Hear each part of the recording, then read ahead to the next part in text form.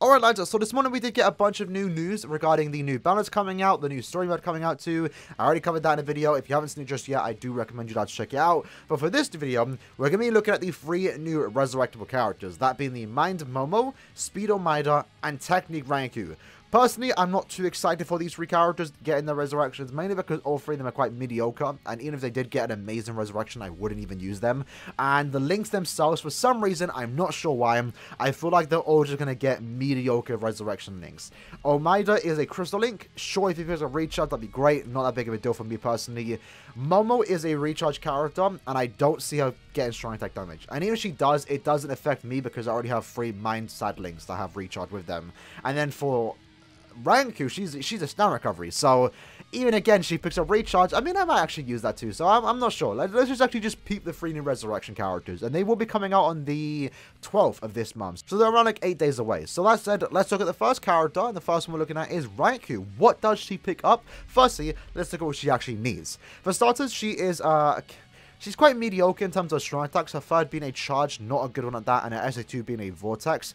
Um, this used to be good, obviously, back in the Guild Quest meta when you wanted characters like this, but nowadays it's kind of just eh. Alright, so look at the skill she does have. She has a 20% Bruiser, 40% Devastation, Frenzy plus 1, Long Reach plus 20%, and Sprinter plus 1. So that is 1, 2, 3, 4, 5. So what she's going to do here, she's going to get 20% Berserker. That's pretty much guaranteed. That's what every character gets now when it comes to the Resurrection. Since she only has 5 skills, she's also going to pick up a second skill. And I could see them giving her either weaken attack or weaken defense. Maybe even extra damage at full stam. That would actually be pretty unique for a character like this because they haven't... I don't believe they've given a character damage at full stamina. They've given damage to low stamina, but not full stam. Although I feel like they might just go the cheap route and give just weaken attack, and that'd be kind of just like no, they can't do that because she has paralysis. That'd be pointless. Maybe weaken defense, I think is what they're going to give us. And then as for a Link, she has a 25% stun recovery. So what I would like to see here is maybe recharge just to make the character a bit better. And also, recharge and stun recovery is actually a pretty decent Link, especially even at 10%, which if, if she does pick up recharge, that's what it would be at. I wouldn't even mind that. Personally, I do like, you know, hybrid Link, stun recovery, and recharge is definitely a good thing that I would see myself using. So I kind of like to see that. And uh, yeah, let's just see what she does pick up. So for a Link, she got Damage taken, minus 12%. That's not too bad. It makes sense. Down recovery and damage taken is a pretty decent combo. I'm not really too sure right now how many combinations of that we have when it comes to other characters. Uh, but that's decent for Auto, I guess. Not too bad then. The stun recovery is pretty high at 25%, but the damage taken is only 12%, so... Yeah, it's alright. It's alright. As a character for herself, not too good. She doesn't she, she doesn't really benefit from that. But as a Link, that's pretty unique to a certain extent, I guess. And as for the soul trait, she got as expected, weakened defense and 20% Berserker. So, yeah, I guess as a character, she's now better. You know, she's hitting 20% harder. She doesn't have the built-in recharge still, unfortunately. And I guess the Soul Bomb now hits harder. That's the really sad thing about Resurrections right now, is that you can kind of predict what they do get. As you can see, I literally just called it, right? She would get weakened defense or attack and Berserker plus 20%. I would like to see them to do more with this type of stuff. It's kind of just like expected. It's an okay resurrection. Nah, it's not. It's it's quite mediocre. It's an okay one, right? She's obviously the day. That's the main thing. And the link itself, I'm not gonna hash. I'm not gonna trash on it. I can see it being kind of useful. Might see myself use that one day. If I do, I'll be happy to have her. Next up, we have. uh Let's do Momo next because Momo is. I want to see what they're going to do with Omaeda, right? So, Momo is a character that's very bad. I don't like using her. Range collision SA1, SA2 is a heal, and SA3 is a... It's not in the force screen, I believe, right? Let me just quickly double check real quick uh, attacks. Because I have to use her a lot during, yeah, it's 900. I have to use her a lot, and I'm sure a lot of you have to use her a lot during Chronicle Quest farming, so she's not really the most fun character to use. Now, at the very least, she's not going to get this skill because she gets it in Arena, which isn't even that good. So for her skill, she has a 20% Bruiser, a 2 second Debilitator with 40% Devastation, Frenzy plus 1, Medic, and Sprinter plus 1. And since she does have 6 skills here, that means she's going to pick up one extra skill, that being probably 20% Berserker. And as for the Soul trait, because she already has 12% Recharge, I don't see them giving her 16% side. I don't feel like we need them. I wouldn't mind like DR and recharge personally. Eh, you know, the reason why I say that is because we don't have a lot of links like that. We have a lot of mind links with, that are recharge inside, so I wouldn't really want another one. If they want to go down the Retsu route and give a full stam, that would be pretty good. So I'm kind of curious what they're going to do here. So let's see what she does get. She got stun recovery.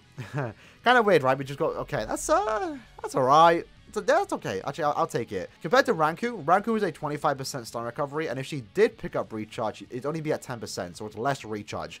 I, you know what, I actually prefer more recharge and less stun recovery than more stun recovery and less recharge. So this is a pretty useful link. Again, I actually prefer this more than a sad link, mainly because I personally have free mind recharge and sad link, so I don't need any more. But I would gladly take more links like this, because I could see myself using it on my mind character when I'm playing Inheritance Trials. So, as a link, pretty decent. For a soul tree, what does she pick up? Just 20% Berserker? Yeah, just 20% Berserker. Okay, nothing too special then. But hey, pretty decent link. So two, so far we have a semi-decent link, a pretty good link, and now let's see what Omaeda is going to bring to the table. Is he going to finish up the trio, or is he going to get a bad upgrade? So let's see what he does get here. So looking at that, again, he has a crystal slash jaw drop rate. I would like to see him do something fun here and give him coin drop rate. That would be cool. I don't see them doing that. I feel like they're just going to give him recharge, which for a character himself would make him better. And is he usable? I don't know. Like he's he's okay. Nah, just just use him as a link. You could use him as a main, but you're better off using someone else. So as for his skills, he has a 20% bruiser, 40% devastation, 10 second enhancer with frenzy plus one, long reach and sprinter plus two.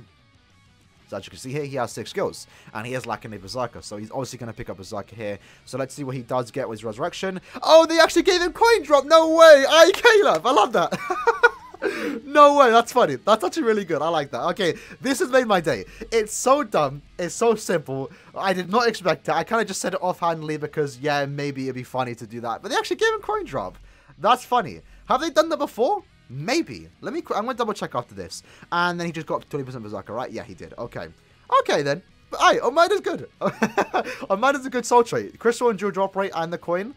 Uh, yeah, I'm, I'm all for it. Let me quickly check the other resurrectable cards that also do have, because uh, I might be like getting happy about nothing. Yeah, so that's the first time they've done it. The other two, that being Kisuke, only got recharge. So that's why I was kind of expecting recharge, because Kisuke got it twice.